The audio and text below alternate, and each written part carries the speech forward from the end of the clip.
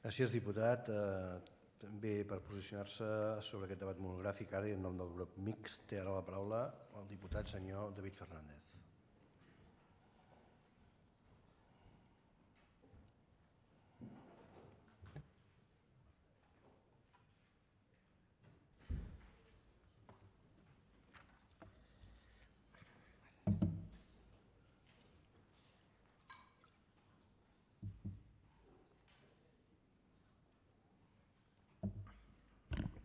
Gràcies, president.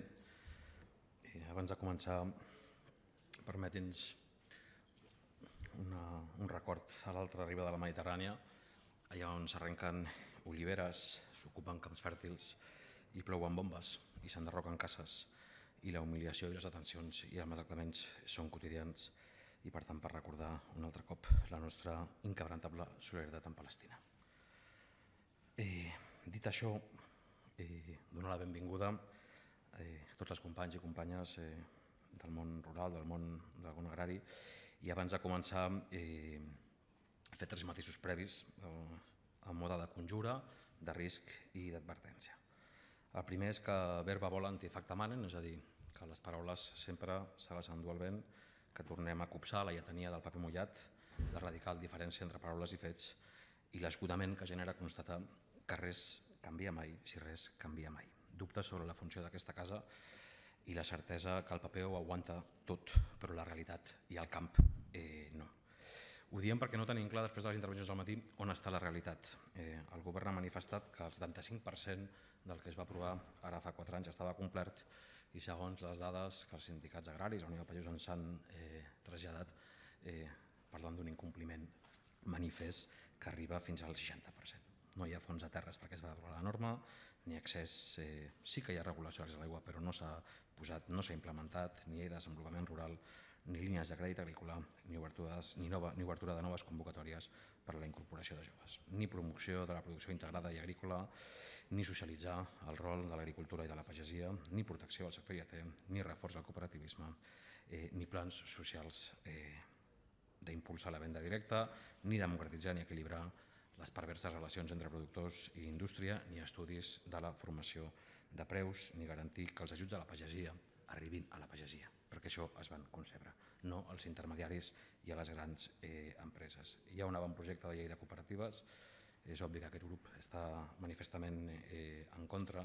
Una altra cosa és que se segregués eh, una, una llei que només afectés a les agràries, però en tot cas eh, la constatació de que les paraules genèriques i els discursos rimbombants xoquen contra la realitat i contra els incompliments manifestos i concrets. És lícit preguntar-se si 4 anys, eh, 50 mesos, 200 setmanes, 1.600 dies no és prou per implementar les 131 mesures que aquesta cambra eh, va aprovar. Si no, per què serveix aquesta cambra?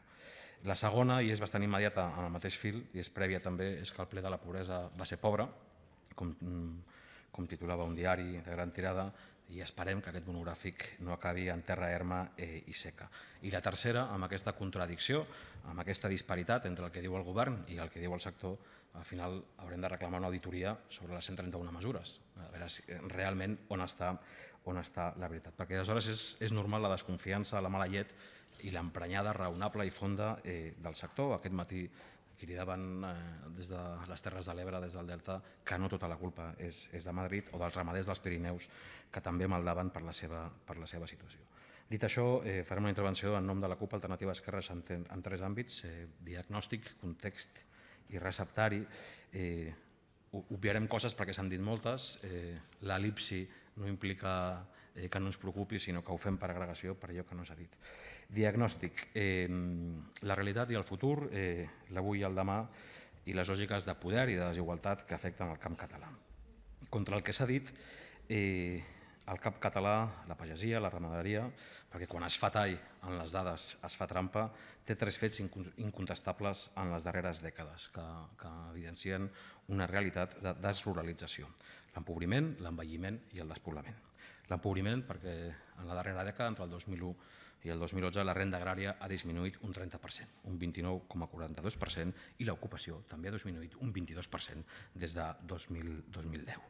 És a dir, que prou de fer trampes amb les dades. Envelliment, els titulars d'exportacions agràries, de, agràries de menys de 45 anys són avui el 17%. I, òbviament, i com sempre, les grans invisibles són les dones eh, pageses. I el despoblament, perquè dels anys 70 ençà la població activa pagesa ha passat del 8% a l'1,5%. Metropolització, èxode camp-ciutat, conurbacions urbanes i desequilibri, el sempitern desequilibri territorial.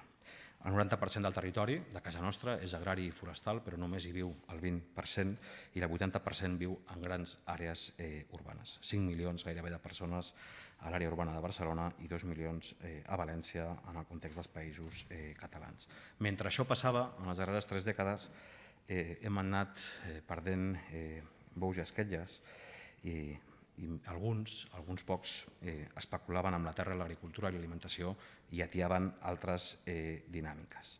Almenys sis negocis que en paral·lel s'han produït en les darreres dècades mentre hi havia l'empobriment, l'envelliment i el despoblament del món eh, rural. Mentre això passava, amb una mà no feien res i amb l'altra l'anaven com a mínim el negoci de la distribució. Les superfícies comercials, eh, hipers i supermercats ja controlen el 93% de la distribució d'alimentació envasada, eh, amb un oligopoli on Mercadona, Carrefour i Eroski tenen el 50%, el teixit comercial de proximitat, que també forma part de la nostra cultura, només eh, distribueix avui el 5% eh, respecte al 13% del 2010. Després del negoci de la distribució, òbviament hi ha el negoci de la intermediació, comprar ben barat i vendre eh, ben car. Amb això podríem remetre'ns a la maroteca. La primavera del 2005, la Unió de Pagesos eh, desembarcava a les, eh, a les drassanes, a la plaça de la Catedral, eh, i venia eh, fruita dolça a 10 cèntims eh, d'euro, eh, una mica menys del que cobraven. Dins dels mercats municipals i a les botigues aquella mateixa fruita es venia fins a 20 cops més cara. Qui guanya? Qui especula? Qui intermedia? Qui juga al pòquer? Qui juga al pòquer amb els pagesos de casa, de casa nostra? El 2011, una mateixa denúncia per estar obligats en l'àmbit de la fruita a vendre per sota eh, de cost. L'any passat, eh, la denúncia de Freixenet, que només pagava 26 cèntims eh, d'euro eh, pel quilo eh, de raïm. El cas de l'AI, que ahir l'estudiaven col·lectivament, és particularment singular. Arriba a créixer un 500% el preu entre origen i, i, i, venda, i venda final. Per tant, als pagesos se'ls paga menys i als consumidors se'ls cobra més. Aquesta és la trampa del lliure mercat. Bertolt Brecht, a la cançó dels llauradors, deia allò de que el menjar de baix arriba als que dalt se la mengen i aquells que l'han conreat encara no han menjat. En tot cas, com deia eh, un sindicalista agrari, una presa eh, de pèl al negoci de la intermediació i les complicitats polítiques que permeten que això continuï. Un altre negoci, el del malbaratament, mig món es mor de fam i l'altre món per aprimar-se, és una pintada anònima del barri del Guinardó, però és veritat que si cada ciutadà i ciutadana gasta 750 quilos d'aliments eh, l'any per persona, entre, entre el 10 i el 15% acaba a les deixalleries. El negoci de l'especulació. Veterinaris Sense Fronteres va aconseguir ara fa dos anys que Catalunya Caixa abandonés el dipòsit natural 100% perquè especulava eh, amb els aliments. I fins i tot el Parlament, una altra moció incomplerta que no serveix per res, va aprovar el 2012 una moció que instava a la prohibició de l'especulació financera amb els, amb els aliments. Què significa això? Significa que segons la FAO i el Banc Mundial, poc sospitosos d'estar eh, a l'esquerra de la CUP, el fort increment dels preus de les crisis alimentàries del 2007, 2008 i 2011 estaven directament vinculades al mercat de capitals que havien obert un nou nínxol eh, especulatiu i que havien provocat crisis alimentàries severes arreu del món. Això continua passant avui. El Banc de Sabadell ha guanyat 6 milions i mig d'euros eh, a través del fons BS Commodities, que especula en matèries primeres com el blat, el blat de moro i la soja. I avui és el moment de dir al senyor Oleu que tregui les seves brutes mans del dret a l'alimentació. El negoci de l'especulació eh, té una altra, òbviament, una altra segona bombolla immobiliària, que és el negoci immobiliari que impossibilita l'accés a la terra. En la bogeria del tsunami eh, especulatiu, eh, i constructor que ha viscut als països catalans. Eh, es van perdre més de 250.000 hectàrees eh, forestals arreu de l'Estat i es va urbanitzar un 25% de tot el que s'havia urbanitzat en tot el segle eh, XX. Qui compra avui terres? Qui especula? Doncs empreses com Terradellas o Vallcompanys. Finalment, també hi ha un altre eh, sisè negoci, que és el negoci de l'agrobusiness i els transgènics, amb els quals posteriorment ens hi eh, referirem. Eh, hi ha una altra realitat que ha sortit aquest matí, malgrat el llenguatge sempre fa trampa, que és la poda de competències i les retallades que també han arribat eh, al camp i al món, i al món rural. Es podrien parlar de moltíssimes coses, eh, dels PDRs, de la reducció de recursos eh, del 20%, que és la poda de les competències per la recentralització, òbviament per un nou atac a la sobirania d'aquest poble, però capgirar les prioritats eh, d'inversió depèn eh, del govern i depenia de forma urgent. Hi ha hagut un acord eh, recentment, veurem com s'aplica. Dos, sobre la investigació a l'IRTA no pot ser que estigui al servei de les grans empreses agro, eh, agràries i agroalimentàries eh, de, del país. És una autèntica transmutació del que hauria de ser un servei públic. Tres altres realitats també, l'intrusisme eh, professional. Podríem parlar també, com ha fet abans el diputat eh, Matías Alonso, de la pesca costanera artesanal, però també de l'alta muntanya, que és el territori, sens dubte, més destruït i més difícil de recomposar en l'actual eh, conjuntura. Amb especial significació, òbviament, a la comarca del Pallars Jussà, el 43% dels municipis amb menys de 10 eh, habitants. I finalment hi ha un nou negoci que aquí he entès que el conseller Pellegrí deia que era una oportunitat i que per nosaltres no és més que una amenaça, que és el Tractat de Lliure Comerç entre la Unió Europea i els Estats Units eh, d'Amèrica, que com va reconèixer el president Mas, ell tampoc sap de què va, perquè només es negocia amb els grans lobbies i les grans empreses eh, transnacionals. Eh, I així ens va, que la política no està aquí, sinó que es fa en altres eh, indrets.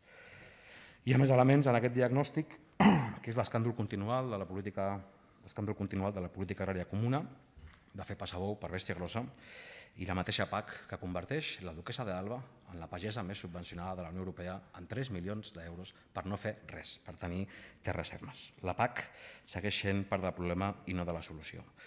Qui se'n beneficia de la llei de l'embut? De l'Evangeli segons Sant Lluc? Doncs el llistat de les empreses agroalimentàries als països catalans que reben més diners de la PAC, que és Zumos Valencianos del Mediterrani, 10 milions d'euros, Pastas Gallo, 7 milions d'euros, Galletas Siro, 7 milions d'euros, Bonissa, 6 milions d'euros, Nutrexpa, 5 milions d'euros, Unilever, 3 milions d'euros, Nestlé, 2,7 milions d'euros, Mercadona, 2 milions i mig d'euros, Gallina Blanca, 700.000 euros, Lidl, 700.000 euros, Segura Viudes, 670.000 euros, Guissona Corporació, 421.000 euros, Codorniu o Vall Companys. Excel·leix el sector agroalimentari? És possible, però entre l'excel·lència i la indecència també hi ha molt recorregut perquè algunes de les famílies que controlen fa molts anys aquest sector alimentari resulta que després envien 180 milions d'euros al·ludint riquesa al paradís fiscal de les Antilles holandeses. I, òbviament, m'estic referint a Gallina Blanca i a la, i a la nissaga eh, Carulla. I algunes vaques del nord, és veritat, estan molt més subvencionades que els camperols eh, del sud. Aquesta és la història de la PAC, que sobretot és la ruïna dels pagesos del nord i els camperols eh, del sud, com bé recorda eh, quotidianament eh, la via campesina. Un altre element fonamental, profundament contradictori, eh, és que en un país de boscos hem perdut la cultura eh, del bosc. Algunes dades prou eloquents. El 63% de la superfície de casa nostra és forestal, però només ocupa el 0,05% de la població activa, apenes més de 4.000 persones. 2,1 treballadors per cada, per cada 1.000 hectàrees, amb una massa forestal que el 73% és privada i el 27% és pública. La mitjana d'inversió és la més descaradament baixa de l'estat espanyol, 15 euros per hectàrea i 3 euros per habitant, front a la mitjana estatal de 51 euros per hectàrea i 20 per habitant i la inversió pública als boscos públics catalans eh, tot just arriba a 2 euros per hectàrea i any. I a més, estem perdent el temps, hi ha una descapitalització, hi ha un nínxol que no s'aprofita i hi ha un desaprofitament que és, òbviament, eh, els boscos, no? i que tenim una absoluta disparitat entre el consum de fusta, que important, i el que tenim com a potencial eh, a casa nostra, és a dir, que fem, fem l'asa. I, I, a més, tenint en compte que la gestió silvícola és l'única garantia de conservació dels boscos, que a més de produir recursos energètics, abans s'ha parlat de la biomassa, matèries primeres, també conserva el paisatge i és un futur nínxol d'ocupació. A més, òbviament, de la millor política antiincendis. Si alguns de vostès van veure el reportatge de Gran Silenci a TV3 sobre l'incendi a Horta de Sant Joan, recordaran que un dels bombers deien aquest incendi va començar fa 50 anys. I els incendis d'aquest estiu van començar fa 50 anys per la pèrdua i l'abandonament de la cultura del bosc. Un element també que ens caracteritza és els transgènics. Si fóssim un estat independent, com així volem des de la CUP, seríem el segon estat europeu amb més hectàrees de transgènics cultivades. Des del 1996, quan el PP els va imposar, sense cap debat social, hi ha hagut un seguidisme eh, dels governs i s'ha fet oïdes sordes a enquestes, a la ILP, que va portar a aquesta casa més de 106.000 vots, el darrer eh, baròmetre d'opinió popular que ha sigut el, el multireferèndum, avui feien una roda de premsa fora, el 91,5% de la gent que ha votat en contra eh, dels transgènics i que ha oblidat la voluntat popular per imposar allò que demanaven els obvis de la, de la indústria eh, genètica. Una perillosa inacció quan entren eh, en dilema els riscos sobre la salut humana i l'entorn ecològic, quan el mateix IRTA ha dit que no és més productiu el panís transgènic eh, que el convencional i quan el mateix IRTA ha dit que no hi ha reduccions significatives d'herbicides i pesticides. La cohabitació és impossible. No es pot estar a missa i repicant. No es pot defensar l'agricultura transgènica per aquí i l'agricultura eh, ecològica per aquí, perquè la polinització fa inevitable l'agricultura eh, ecològica. És un atemptat, a més, a la, a la biodiversitat, a la nostra cultura eh, agrària i pagesa i fomenta també la dependència tecnològica de les multinacionals i la privatització d'organismes eh, vius. Contextos eh, i trànsits en l'àmbit de l'agricultura i l'alimentació al segle XXI, que és allò que ens afecta i que podríem definir com la nostra pagesia sota l'huracà de la globalització. Permeti'ns que fem una eloqüència, eh, una eloqüent metàfora sobre què passa en aquest món avui mateix en un sol minut de mercat lliure i en 60 segons. En 60 segons passa que passa que moren 60 persones de fam, que moren 11 persones vinculades a la contaminació de l'aigua, que moren 3 persones vinculades a la contaminació de l'aire, que es produeixen 741 casos de diarrea infantil i 4 acaben en mort, tots són dades oficials del sistema de Nacions Unides, que els 225 multimilionaris més rics del planeta ingressen cadascú 36.000 euros en un minut i que els 200 i que els 2.600 milions de persones més pobres ingressen cadascú una mil·lèsima de dòlar. S'emeten 1.441 metres cúbics de diòxid de carboni, desapareix una unitat agrària familiar a la Unió Europea, es deforesta l'equivalent a 60 camps de futbol, les nacions més riques gasten cadascuna 1,4 litres d'aigua i es gasta un milió i mig de dòlars en armament. Allò que diem sempre de que amb el rescat bancari global que es va, que es va implementar des del 2008 es podria erradicar la fam al món 92 cops i nosaltres amb una ens conformem. Hi ha darrere un fetichisme eh, del mercat. Alguna vegada també el president Mas s'hi ha referit als abusos i les lògiques depredadores i abusives del mercat. L'última persona en donar-li la raó, també el president Mas, ha sigut el, el governador del Banc Nacional Britànic, que ha criticat el fonamentalisme del mercat. I el fonamentalisme del mercat és que avui escanya i apreta la nostra eh, pagesia. Què hi ha darrere? Doncs una ofensiva mercantilista d'un capitalisme jacenil que es desferma i aguditza a partir, com molts de vostès saben, de la ronda Uruguai del GATT i de la creació de l'Organització Mundial del Comerç. Ho recordaran perfectament. Citel, 1999, pagesos al carrer dient l'alimentació no és un negoci, l'agricultura no és un negoci. Ho recordaran de seguida els suïcidis de Camperols, de Li Chunhei a, a, a la cimera de Cancún de l'OMC. El fracàs absolut també de la revolució verda i la impostura del capitalisme verd, que és una terrible sinestèsia. És un oxímoron absolut. És com dir banca ètica, exèrcit humanitari o racisme solidari. El mite del creixement en un mot finit no és res més que una altra fal·làcia i no és res més que l'imaginari d'una història ficcionada un relat impossible i un conte de fades que ja fa por. Es produeixen més aliments que mai i la fam continua creixent arreu del món. També amb les dinàmiques pròpies de casa nostra, però també a casa nostra. La fam, és veritat, no és cap novetat en la història universal de la infàmia, ni en la història universal de la humanitat.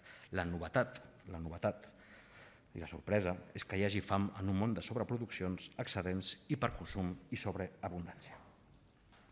La fam és un problema polític, no és un problema de falta de recursos, és un problema brutal de redistribució.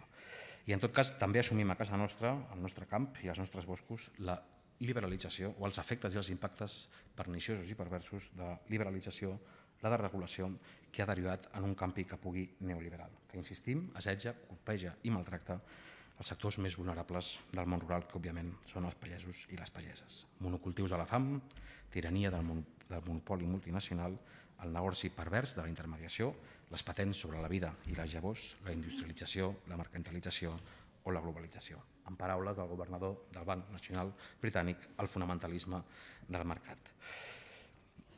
Matrius de trànsit i, i l'àmbit de propostes de receptari. Nosaltres som aquí avui, com som als barris, als municipis i les comarques, en defensa de la pagesia, dels ramaders i dels pescadors i en la, i en la dinamització d'un medi rural viu. Segurament podríem fer molt més.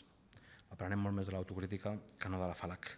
Però en tot cas sí que avui és important reflexionar sobre la política i la seva capacitat o incapacitat per generar i articular respostes.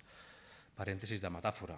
Avui els que estan al govern, que el 2010 eren oposició, no? diran els que estaven al govern fa quatre anys li deien a l'oposició. És a dir, sembla que res canvia. És un canvi de tornes que també torna un altre cop segurament al descrèdit de la política. En tot cas, nosaltres estem per una transició cap a una agricultura pagesa, democràtica i descentralitzada. El 2003, eh, a l'entorn de les cimeres sobre l'alimentació eh, de la FAO, es va produir el, es va redactar, es va corredactar el manifest sobre el futur dels aliments eh, on es demanaven alguns principis bàsics i es demanava fer guaret per tornar a conrear algunes coses bàsiques de les que imperdonablement ens n'hem eh, oblidat i que són avui de rebuda d'actualitat. Que l'alimentació és un dret bàsic que cal garantir, un. Dos, que l'agricultura descentralitzada és eficient i productiva, molt més que l'agrobusiness si contemplem costos ambientals i socials i la menjadora sucosament subvencionada que ens despilfarra l'agrobusiness. Tres, que la terra és per qui la treballa i per qui la llaura i ara que hem demanat l'ingrés a la francofonia doncs demanaria que també ens fixéssim en el banc de terres que l'estat francès va fer per garantir l'accés eh, a la terra de la, de la pagesia. Quatre, que els principis rectors haurien de basar-se en el paradigma de la sobirania alimentària, un paradigma que va fer néixer el moviment Camperol Internacional, que és via campesina, milions i milions de camperols i camperoles i pagesos, no quatre multinacionals, que és el que nosaltres ens devem a la via, a la via campesina, eh, que cal blindar el principi de precaució davant tecnologies que disminueixen i alteren la seguretat alimentària, que manen, sis, que manen els imperatius per protegir la biodiversitat i els ecosistemes, bandejant, les, bandejant la privatització de les patents i exigint traçabilitats. Set, que cal respectar i fer respectar el respecte a les cultures, sabers i coneixements comunitaris eh, heretats, perquè si els perdem ho haurem perdut gairebé tot. Vuit, que cal vertebrar circuits comercials locals i de proximitat i de quilòmetre zero amb preus, eh, amb preus justos.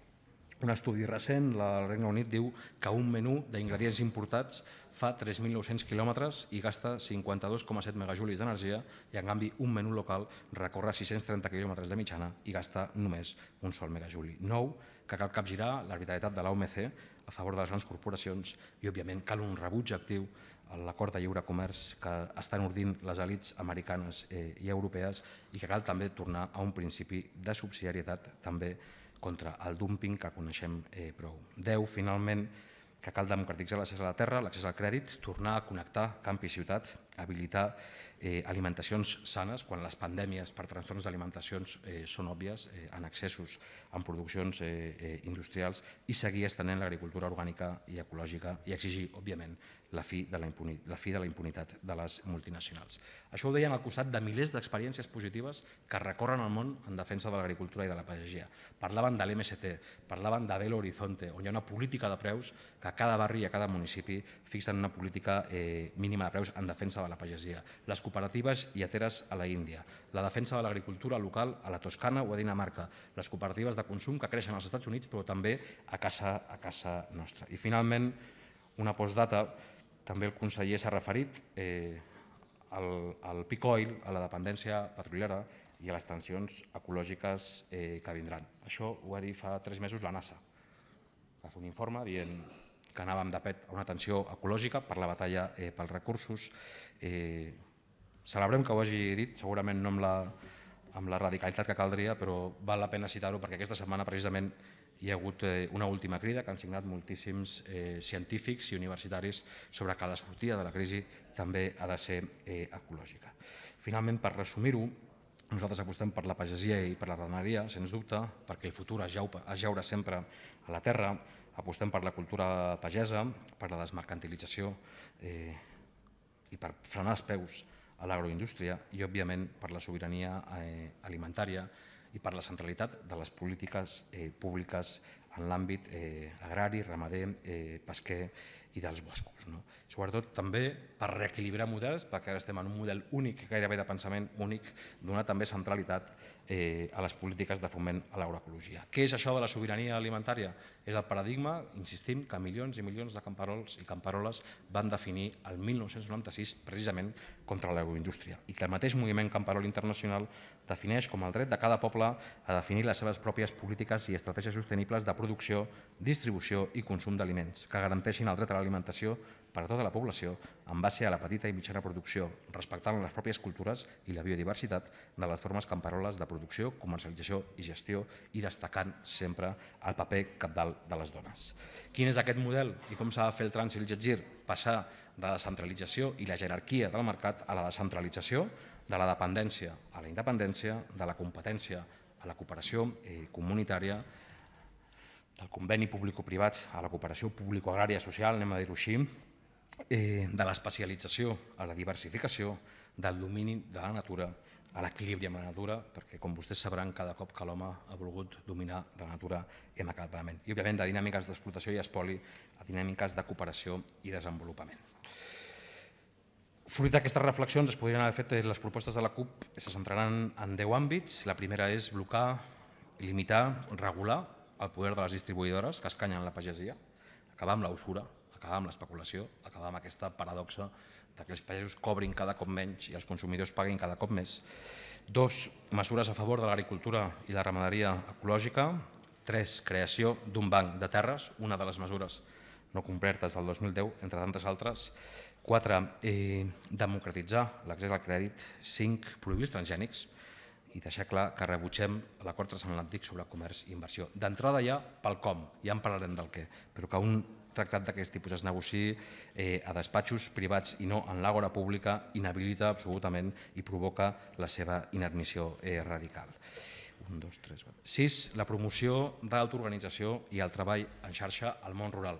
El pagès està cada cop més proletaritzat, podríem dir, i més salaritzat i més depenent dels grans circuits eh, comercials de l'agroindústria. Set, l'aposta clau per la gestió forestal i la recuperació de la cultura del bosc. Vuit, la regulació de l'intrusisme professional i la, i la protecció de les produccions artesanals.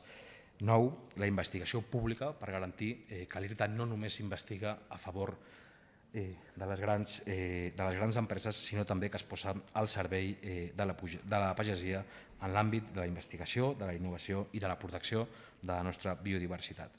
I deu, finalment, eh, com no podia ser segurament d'una altra manera, doncs, eh, una, un posicionament, un reclam de que aquest Parlament es posicioni a favor de la sobirania alimentària dels pobles, és a dir, al costat dels milers i milers de camperols eh, d'arreu eh, del món, majoritàriament pobres, dels pobres, majoritàriament dones, que estan reivindicant el paper clau eh, de l'agricultura eh, a, tots, a totes les realitats eh, nacionals eh, del món. I finalment, si em dóna temps, tres reflexions eh, final. Contra els tòpics, que sempre contenen moltíssima càrrega d'absurds, la pagesia en aquest país ha sigut motor de transformació eh, social eh, quan ha calgut. De les bullangues, als remenses, a la llei de conreus de la segona eh, república. I això relliga amb la segona qüestió. L'agricultura, la ramaderia, la pesca i la silvicultura són sectors estratègics claus pel país. Sense camp no hi ha taula, sense terra no hi ha sobirania i sense pagesia, pagesia no hi ha eh, futur. Pep Riera, que segurament és una de les persones anònimes que podria sintetitzar aquest compromís amb la terra i amb el país de, de milers eh, de pagesos, sempre diu que ens estem carregant el rebost, que tenim el rebost a tocar i que en canvi estem esperant que vinguin de fora. I que cal capgirar, com sigui, l'èxode rural i el sempitern, caldrà dir, desequilibri territorial que viu el nostre país. Algú pensarà que això torna a ser una soflama copaire, eh, doncs aquesta vegada no, ni molt menys. Aquesta vegada mirem enrere per seguir endavant el que avui hem defensat, el que es condensa en aquestes 10 propostes de resolució, no és res més que el bagatge heretat, són les propostes encara vigents i encara pendents formulades ara fa 80 anys pel geògraf Fau Vilà. El model de gestió no és nou ni revolucionari ni segurament allò que diem és massa innovador. És simplement, ni tan sols original, és simplement sentit comú, comunal i comunitari. Un fre d'emergència a les dinàmiques que estan tritxant el nostre camp i la nostra terra.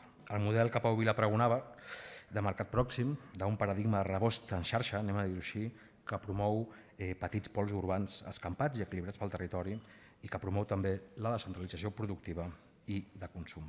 Finalment es podria dir que el canvi copernicà passa per democratitzar també eh, el món agrari. Un model que lliga directament amb la sobirania alimentària, que lliga directament amb, amb les proclames i protestes i propostes de la via campesina, però si ja consigo, sí que acabo, des del reconeixement a la tasca silent, quotidiana i humil de la petita pagesia, que malgrat no es vegi, conreen, reguen i llauren el futur eh, d'aquest país. En poc eh, es feia molt, aquesta és la història de la mancomunitat, però en tot cas, en el retorn a la cultura pagesa, anem a dir-ho com s'ha dit tantes vegades, eh, al carrer i a les protestes, no? que visca la terra i morin els malgoverns. Gràcies.